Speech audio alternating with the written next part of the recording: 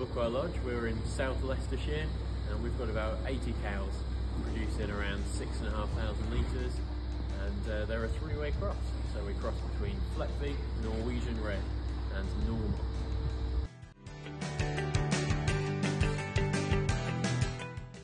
Well for us the most important things are the cows.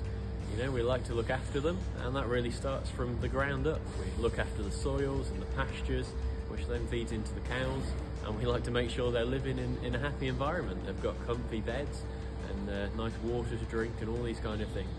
And if we can have happy cows, then that's a nice place for us to work in as well. Well, previously we were using iodine-based teat dips, and they used to leave the teats quite dried and uh, sometimes cracked as well. But ever since coming over to the EnviroCare teat dip, we've had uh, much more supple teats and therefore much, much healthier. Well, like we say, in, in the past we've had these teat dips which use quite harsh chemicals and those can then end up in the water systems and out on the fields affecting all of the life out there. So with the EnviroSystems teat dip, it's a much more natural product we think that shows in the environment around us.